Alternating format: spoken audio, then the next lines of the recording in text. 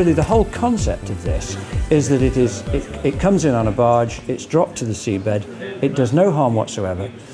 The, the, the thing rotates very slowly so that it, it, and we get massive torque loads, but, but from that we can generate huge loads onto the generator. But what makes it truly special are the turbine blades that we worked with Cranfield University to develop.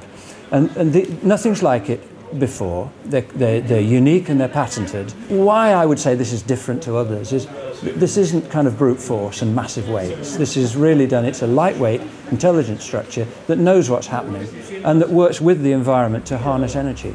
It's fantastic to see this project taking place in, in Pembrokeshire. I'm looking forward to, to seeing it when I go out on the uh, boat in uh, just a minute and just to see what can be done.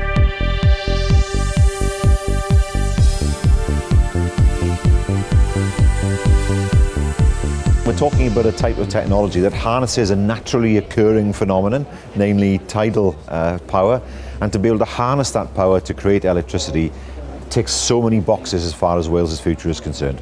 Well, this funding is really important to us uh, because without this grant from the European Regional Development Fund, ad- administered by the Welsh Government, we wouldn't be able to go ahead with the project to build the device, to install it, and then to operate it for a year.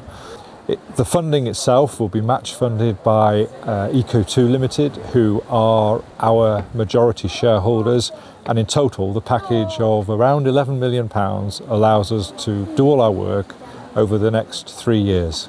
The next phase of this project will be to, to use the learning that we've had from the first 12 months of the demonstration to actually uh, move away and to try to, to, to develop the device a bit further and to actually use those learnings to actually try to develop a, a, a pre-commercial farm in the first instance. Um, there's lots of tidal current around the area and around the UK, which is very much suitable for Delta Stream. Um, and the plan is to try to find alternative sites to, um, to, to develop some commercial power.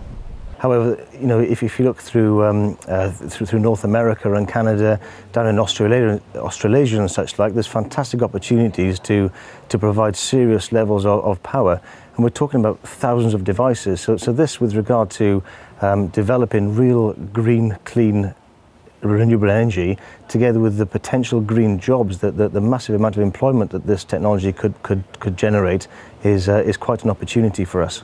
We know that this type of technology can help to reduce our carbon footprint in the future. But secondly, of course, it's a way to create uh, sustained jobs because we know that people are going to be needed to manufacture and maintain the equipment out in the sea in years to come, and that has to be done locally.